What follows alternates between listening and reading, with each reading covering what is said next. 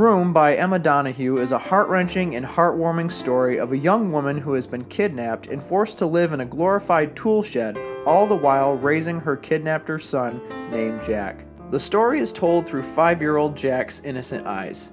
We see how he and his ma, the only name given to the young woman throughout the book, live their life. We see how their daily routines are both teaching exercises for Jack and coping tools for his mother. Their captor, Old Nick, is their only link to the outside world, providing them with supplies semi regularly. What makes Old Nick truly terrifying is that he could be anyone. He could be your neighbor, your coworker, or your relative.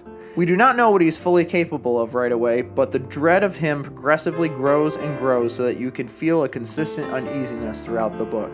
Donoghue puts the reader right in Jack's head and explores fascinating ideas such as how do you explain the world to someone who has only ever known an 11 by 11 enclosure? There are often moments of sickening realization and dread when you decipher the games Jack is describing that he and his mother play. For example, one of their playtime activities includes screaming at the roof as loud as they can in hopes that someone will hear, but of course, Jack only interprets this as a game. His mother is both heroic and human, often combating her own depression while creating a unique and unterrifying world for her son. We see how she puts aside her own frustrations and fears out of pure love for her son so he can have the most normal existence possible. Room is a wonderful exploration into the human condition and shows us how love can yield so much good even in the most horrific of situations.